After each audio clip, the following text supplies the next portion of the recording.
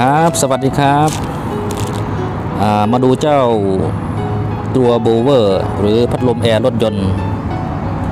สำหรับตัวนี้เป็นของ i s u d m a x นะครับเนี่ยเราจะมาดูแกะดูข้างในมัน เกิดจากปัญหาอะไรทำไมมันไม่หมุนทำไมมันไม่ทำงานเนี่ยครับก็ ประแจปากตายครับหมุนน็อตเบอร์ 8 ครับ ในส่วนยึดกับพัดลมถอดพัดลมออกก่อนนะครับ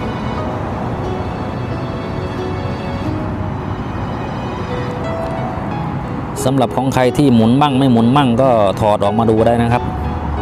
เอามาเป่าทำความสะอาด แล้วก็เช็ดเช็ดถูๆออกหน่อยครับ ความสกปรกของมันอาจจะเกิดขึ้นกับ ในส่วนของแปลงถ่าน ที่มันเสียดสีกันสะสมเป็นฝุ่นเยอะ แล้วก็ทำไปให้ขัด แล้วก็ทำให้สภาพของไฟมันจ่ายไม่สมดุลกันครับนี่ครับถอนใบพัดลมมานี่จะสกปรกมากเลยนี่ครับในส่วนของมอเตอร์ ก็ต้องดึงออกจาก นี่ครับถาดไอฐานของพัดลมก่อนนะครับเนี่ยต้องดึงออกดึงมอเตอร์ออกออกมาก่อนครับ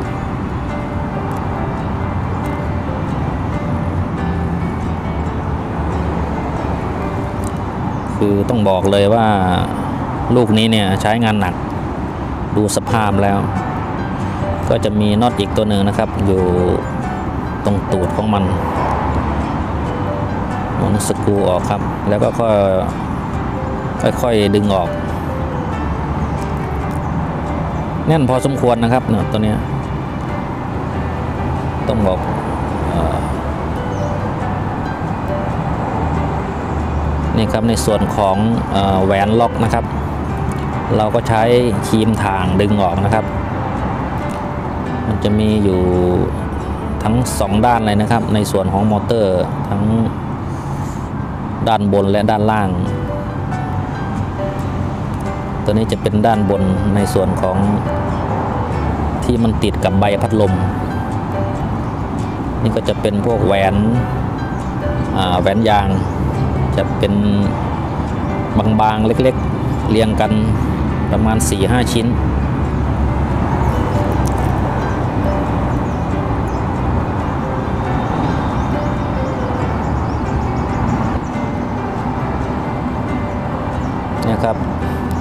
ใช้ครีมลอกหนีบ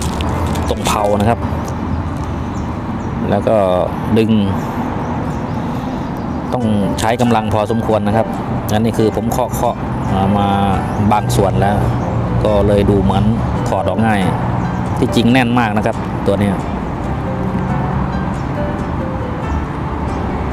เนี่ยครับในส่วนของมอเตอร์เนี่ยครับลูก ของมอเตอร์แค่นี้แหละ เท่ากำมือเรานี่แหละ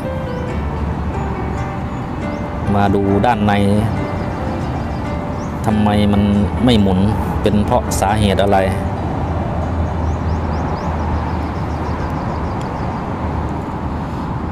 แกะดูด้านในกัน ส่วนนี้เป็นด้านท้ายนี่เป็นแปลงฐานนะครับ จะมีแปลงฐานอยู่สองก้อนอยู่ตรงข้ามกัน ที่มันไปสัมผัสกับส่วนของคอมมิวเตเตอร์นี่นะครับฐาน จะมีสปริงกดไว้อยู่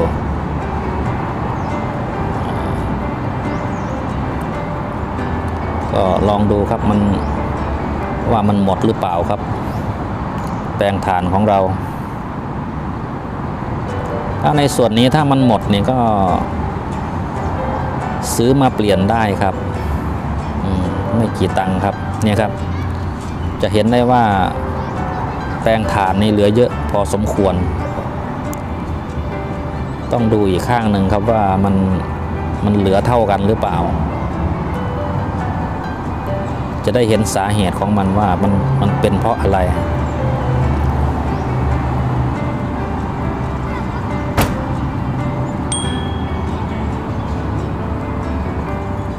ก็ใช้เนี่ยครับ ไขควงปากแบนงัดขึ้นนิดเดียวมันก็จะออกเลยครับในส่วนของแปลงถ่านนี่ครับอีกข้างหนึ่งก็เหลือเยอะเท่ากันเลยครับ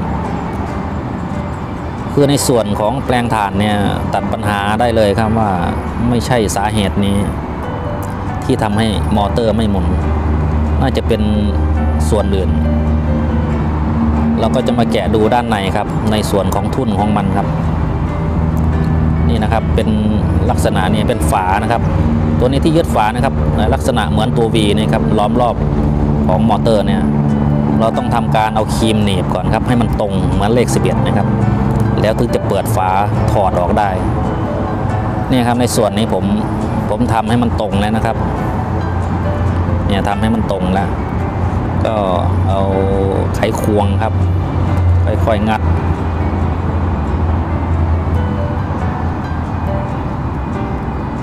ก็งัดออกยากพอสมควรนะครับ เพราะว่ามันเป็นแม่เหล็ก ในส่วนของสเตเตอร์มันเป็นแม่เหล็กที่มันดูด ดูดตัวทุ่นไว้อยู่ มันก็เลยทำให้ดึงออก ยากนิดนึง ต้องใช้แรงนิดนึงอะครับ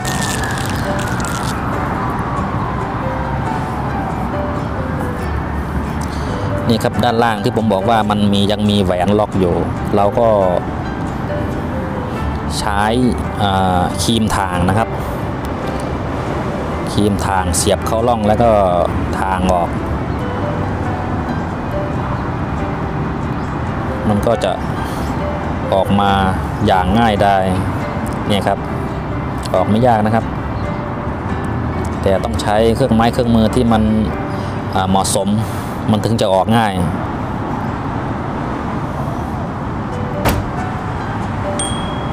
ในส่วนด้านล่างก็จะมีแหวนเหมือนกันนะครับ เป็นแหวนลักษณะแหวนแหวนยาง แผ่นบางๆเรียงซ้อนกัน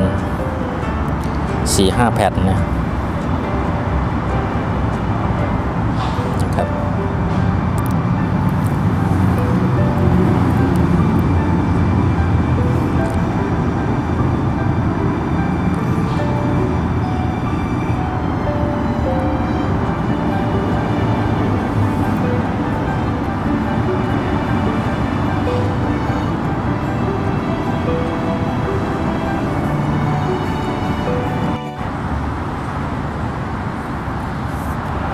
ในส่วนของแหวน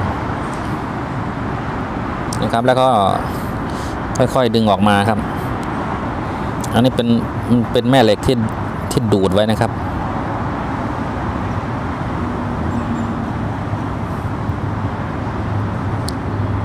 อ่าออกมาแล้วครับเนี่ย นี่จะเป็นส่วนของโรเตอร์นะครับ หรือว่าทุ่นอยู่ด้านในเนี่ย จะมีอ่าขดลวดทองแดงพันลายรอบอยู่นะครับ นี่ดูดูอาการแล้วก็ใช้งานหนักน่าดูเหมือนกันครับ นี่ครับในส่วนของคอมมิวเตเตอร์จะสังเกตเห็นได้ชัดว่ามันสึกไปมากครับเป็นร่องเลยอลองเช็ดทำความสะอาดออก ดูชัดๆเนี่ยครับ นี่น่าจะเป็นสาเหตุหลักของอมอเตอร์ไม่หมุนไม่ทำงานนะครับ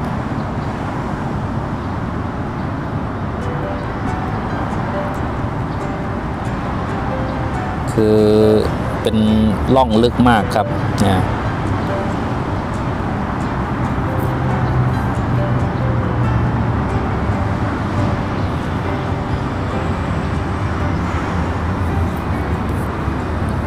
ในส่วนตัวนี้จะเป็นของสเตเตอร์นะครับ ตัวนี้จะเป็น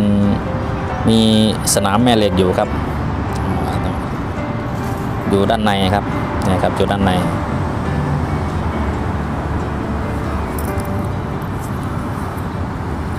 เช็ดออกสัหน่อย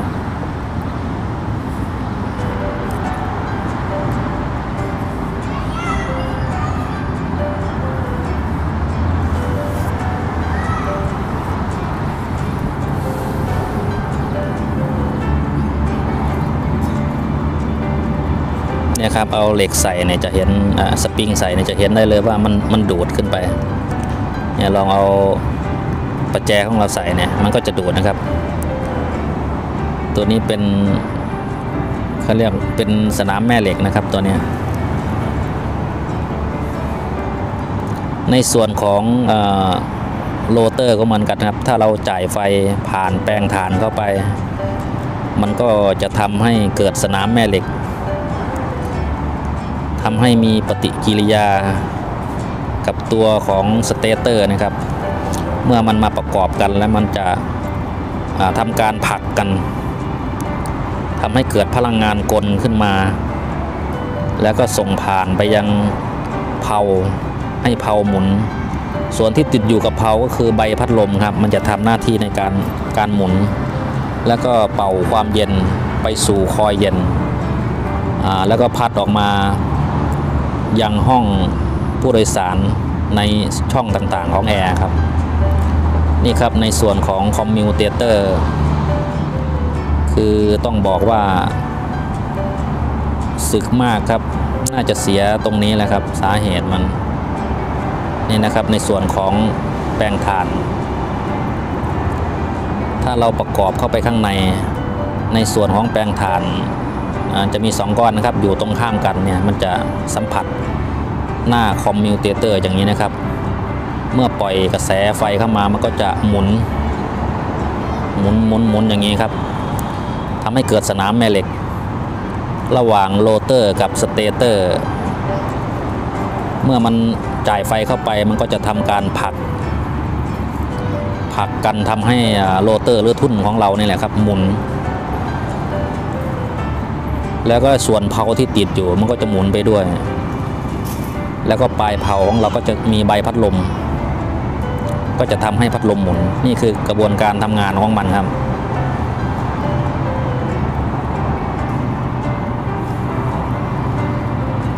นี่ครับไอ้ที่เป็นร่องๆเป็นขีดๆนี่ครับก็จะแบ่งเป็นเขาเรียกว่าเป็นล็อกเป็นล็อกเป็นช่องเป็นช่องของมัน ในการตรวจเช็คนี่ก็ใช้มิเตอร์นะครับ วัดตรงหัว commutator นี่แหละ ว่ามันไฟมันผ่านถึงกันหรือเปล่า เช็คดูแล้ว ก็จะมาวัดดูว่า มันไฟมันยังถึงกันหรือเปล่า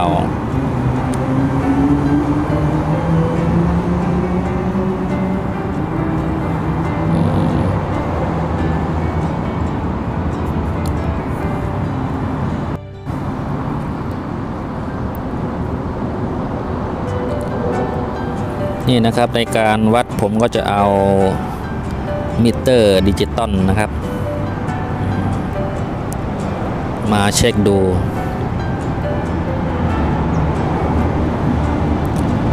นี่ครับในสายสีแดงก็จะเป็นสายบวกนะครับ สายสีดำเป็นเป็นลบนะครับ ในการเช็คเนี่ยผมก็จะเนี่ยครับเอาระหว่างสองสายมาจี้กันดูเสียงมันก็จะดังตีอย่างนี้นะครับในการวัดนะครับ ในการวัดหัวคอมมิวเตเตอร์ก็เหมือนกันนะครับ ช่อง 1 วัดกับช่อง 2 จะต้องมีเสียงดังตีดขึ้นมา ช่อง 2 กับช่อง 3 ก็จะมีเสียงเหมือนกัน ช่อง 3 กับช่อง 4 ก็จะมีเสียงเหมือนกันเเราก็ไล่วัดไปเรื่อยๆ อย่างนี้ครับ ให้มันจนจนจนรอบ ถ้ามันไม่มีเสียงแสดงว่ามีปัญหาแล้วครับ คือไฟมันไม่ทั่วถึง เมื่อไฟมันไม่ทั่วถึง ก็เป็นสาเหตุหลักทำให้มอเตอร์ไม่หมุนนี่ครับจะสังเกตได้ว่ามีตัวเลขขึ้น แต่ว่าไม่มีเสียง ตัวเลขขึ้นเยอะบ้างน้อยบ้างนี่คือผิดปกติแล้วครับปกติตัวเลขก็ประมาณเท่ากันนะครับถือหรือไม่เท่าก็ต่างกันไม่มากครับ ในตัวเลขที่ขึ้นแต่ละช่องแต่ละช่อง เนี่ยครับวัดไปเลยรอบเนี่ยก็จะมีประมาณ 2-3 ช่องมั้งที่ไฟถึงกัน และในส่วนอื่นหลายๆช่องนะก็ ไฟจะไม่ถึงกันเนี่ยครับดูดูร่องรอยของการใช้งานเนี่ยคือใช้งานหนักมากครับเนี่ยตัวเนี้ยคือมันเป็นร่องลึกเลยครับ ถ้าตัวนี้ซ่อมไปก็ไม่คุ้มครับ คือต้อง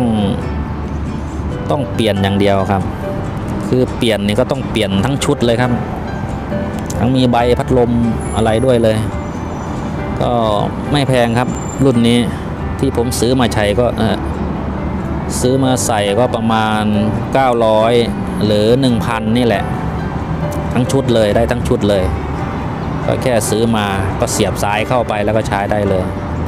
แต่ถ้าตัวนี้จะเอาไปซ่อมเนี่ยผมว่าราคามันจะใกล้เคียงกันกับที่ซื้อใหม่ ก็สรุปสาเหตุเลยครับเนี่ยครับเป็นเพราะทุ่นเนี่ยนะครับโรเตอร์นี่แหละสาเหตุหลักเลย คือหัวใจของมอเตอร์เลยที่มันเสีย ใช้ไม่ได้นะครับถ้าเป็นลักษณะนี้ใช้ไม่ได้ แต่ถ้าเป็นแปรงถ่านหมด ตัวนั้นซื้อมาเปลี่ยน ถือว่าคุ้ม เพราะว่าคู่หนึ่งเนี่ยไม่ถึงร้อยครับแปลงถ่านซื้อมาเปลี่ยน แล้วก็ใช้งานต่อได้ แต่สำหรับตัวทุนเนี่ยอย่าไปซ่อมมันเลยครับ ต้นทุนมันสูงไป แล้วก็ได้อาจจะได้ไม่ดีเท่าของใหม่ครับเนี่ยครับที่ หรือให้ดูนะครับ ส่วนตัวนี้เป็น stator นี่ครับเป็นนี่แปรงถ่าน ติดในส่วนนี้ครับ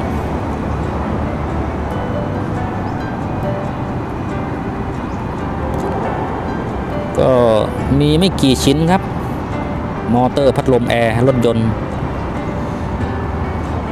ก็มีส่วนของ stator แล้วก็โรเตอร์ที่เขาเรียกเป็นมอเตอร์ครับ เมื่อมันมารวมตัวกันเขาเรียกเป็นมอเตอร์ แล้วก็มีส่วนของใบพัดลม แปลงฐาน แล้วก็ฐานของพัดลมแค่นั้นเอง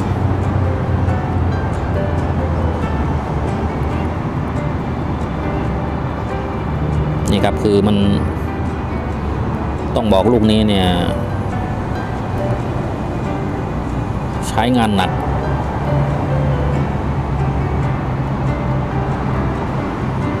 ช้งานหนักมากนี่ครับเสียบเข้าไปอย่างเงี้ยนะแม่เหล็กของสเตเตอร์มันก็จะดูดดูด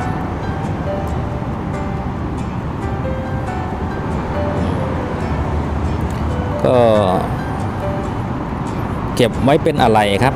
อย่างใบพัดลมนี่ก็เอาไว้ใช้ใส่ตัวอื่นได้ แล้วก็ในส่วนของแปลงถ่านเนี่ยก็เก็บไว้ใช้กับตัวอื่นได้ครับเป็นอะไร หรือในส่วนของเนี่ยครับฐานมันเนี่ยก็ก็ยังดีๆอยู่ครับก็เก็บเป็นอะไรไป ในส่วนของทุ่นนี่ก็ใช้ไม่ได้แล้วครับมันมันเสียตรงนั้นนะครับ ครับในส่วนคลิปนี้ก็ขอขอบคุณมากครับสำหรับการรับชม อย่าลืมกด Subscribe กดไลค์กดแชร์ เพื่อเป็นกำลังใจในการทำคลิปต่อไปด้วยกัน ครับผม